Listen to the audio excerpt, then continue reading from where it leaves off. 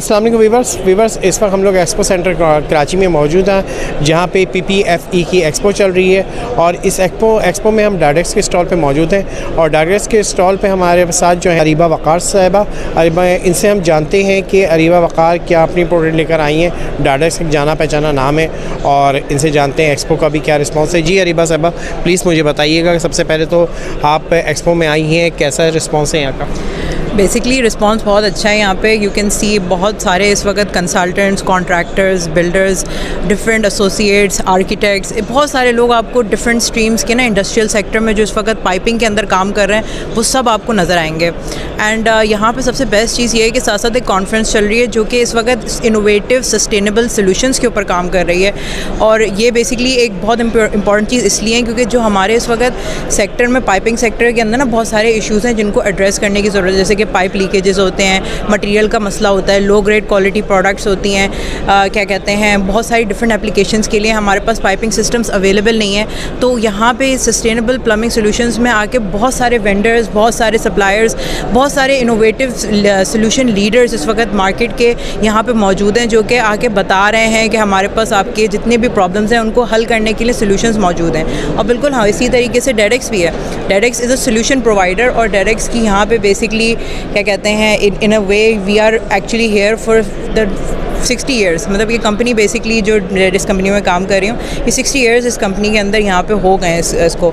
और इसने अपनी जितनी भी पाइपिंग के अंदर जैसे पहले ज़माने में सीमेंट बेस्ड पाइपिंग्स होती थी उसके अंदर इनोवेशन लेकर आए थे फिर उसके बाद में प्लास्टिक बेस्ड पाइपिंग आई। तो प्लास्टिक बेस्ड पाइपिंग के अंदर सबसे पहला जो बेसिकली पायनियर था पाकिस्तान के अंदर वो डेडेक्स था।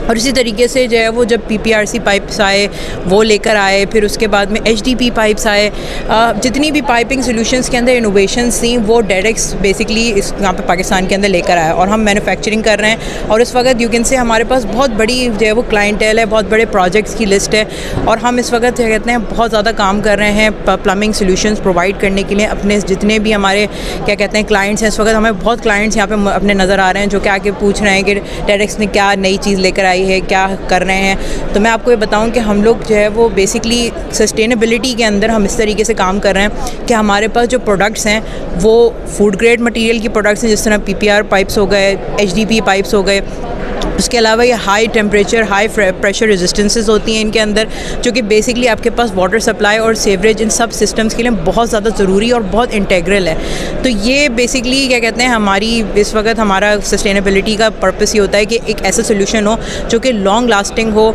उसमें operation and maintenance cost minimize हो जाए और सोल्यूशन इतना वायबल हो कि वो कॉस्ट इफ़ेक्टिव भी बने। तो that is a main purpose basically अच्छा जैसे कि अरीबा साहब, आपने बताया कि 60 इयर्स कंपनी को हो चुके हैं और बिल्कुल डाडेक्स से जो है एक जाना पहचाना नाम है और एक किसी तारुफ के मोहताज नहीं है, बिल्कुल आप सही कह रही हैं। अच्छा मुझे ये बताइएगा कि तो डाडेक्स के मज़ीद क्या प्लान है कि आगे जैसे कि आपके, माशाल्लाह से कंपटीशन भी आपका बढ़ गया है, बहुत सारी पाइपिंग में कंपनीज़ आ गई हैं तो आप क्या समझती हैं कि डाडेक्स को आप अगले पाँच सालों में कहाँ देखती हैं? बेसिकली um, क्योंकि the future is plastic piping और प्लास्टिक पाइपिंग के अंदर इस वक्त बहुत ज़्यादा इंटेग्रल मतलब यू कैन से नीड है इस वक्त अच्छे पाइपिंग सोल्यूशन की जो कि लास्ट करें। अब देखिए सिक्सटी ईयर्स अगर आप देखें तो सिक्सटी ईयर्स का मतलब है कि sixty years is a big span इसके अंदर बहुत सारे इनोवेशन आए different type of piping systems आए। कुछ पाइप्स जैसे कि फॉर एग्ज़ाम्पल एक ज़माने में जी आई पाइप सिस्टम्स होते थे, वो बहुत फ़ेमस थे, बहुत लोग इस्तेमाल करते थे उनको। लेकिन अब अगर आप देखें तो जी आई पाइप्स का इतना ज़्यादा नाम नहीं है। उनकी जगह प्लास्टिक पाइपिंग्स जो है, वो मार्केट को टेक ओवर कर चुके हैं। पी पी आर पाइप्स आ गए एच पी पाइप्स आ गए और इसकी वजह यह है कि वो लॉन्ग लास्टिंग सोल्यूशन नहीं थे। सस्टेनेबल का मतलब ये होता है long lasting solution plastic piping is the future हर इस वक्त आपके पास जितनी भी हम मार्केट के अंदर देखें तो प्लास्टिक सबसे वायबल हैं डिफरेंट प्रोडक्ट्स के अंदर ना डिफरेंट चीज़ों के अंदर। इसी तरीके से पाइपिंग के अंदर भी जब आप लगाते हैं तो आपके पास दिमाग में होता है कि आप एक ऐसा सोल्यूशन लेकर आएँ जो कि लगा के आप भूल जाएँ।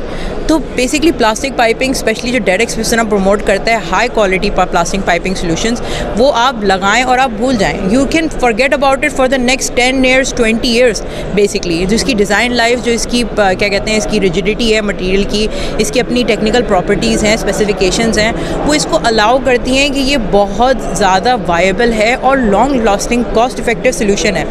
Cost effective solution in terms of long period of time मतलब ऑपरेशन एंड मेंटेनेंस कॉस्ट बिल्कुल लेवल आपकी रिड्यूस हो जाए। तो I see Dadex at a very high platform I may be with the company और may not be obviously but Dadex will always be here and Dadex will always last बहुत बहुत शुक्रिया, Areeba. Viewers आपने देखा कि ये डायरेक्स की अरीबा थी असिस्टेंट मैनेजर और इन्होंने बहुत डिटेल्स अपनी प्रोडक्ट बताई। इस तरह की वीडियोस को देखने के लिए इंजीनियर पोस्ट को सब्सक्राइब करें। Thank you